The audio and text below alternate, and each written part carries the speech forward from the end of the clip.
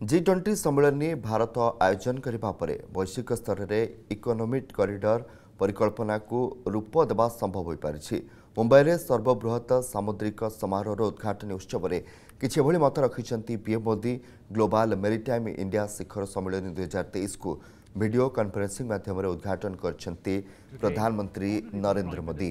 ଏ ଅବସରରେ ସେ ଅଠର ହଜାର ଆଠଶହ କୋଟି ମୂଲ୍ୟର ପ୍ରକଳ୍ପର ଶିଳାନ୍ୟାସ ମଧ୍ୟ କରିଛନ୍ତି। ଆଜିଠୁ ତିନି ଦିନ ଧରି ଏହି କାର୍ଯ୍ୟକ୍ରମ ଚାଲିବ। ବନ୍ଦର ଜାହାଜ ଚଳାଚଳ ଏବଂ ଜଳପଥ ମନ୍ତ୍ରଣାଳୟ ପକ୍ଷରୁ ଏହି ସମାରୋହର ଆୟୋଜନ କରାଯାଇଛି।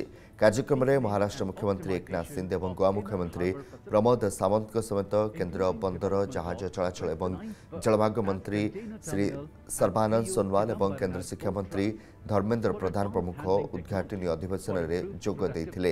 ଏଥିସହିତ ସମାରୋହରେ ଅଠେଇଶ ଦେଶର ପ୍ରତିନିଧିମାନେ ମଧ୍ୟ ସାମିଲ ହୋଇଛନ୍ତି। पहले जब हम 2021 में मिले थे तब पूरी दुनिया कोरोना की अनिश्चितता से घिरी हुई थी।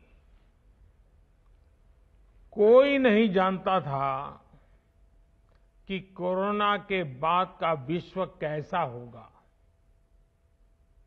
लेकिन आज दुनिया में एक नया वर्ल्ड ऑर्डर आकार ले रहा है।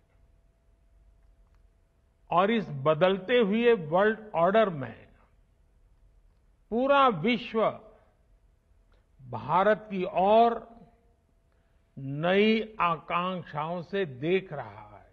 जी ट्वेंटी समिट के दौरान India middle east Europe economic corridor पर ऐतिहासिक सहमति बनी है। सैकड़ों वर्ष पहले सिल्क रूट ने वैश्विक व्यापार को गति दी थी। जदि आपंक आम भिडी भल लगा तेब आम चैनल को लाइक, शेयर और सब्सक्राइब करने को जमा भी बुलां नहीं।